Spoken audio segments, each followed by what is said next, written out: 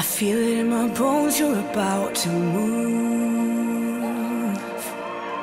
I feel it in the wind, you're about to ride in. You said that you would pour your spirit out. You said that you would fall on sons and daughters.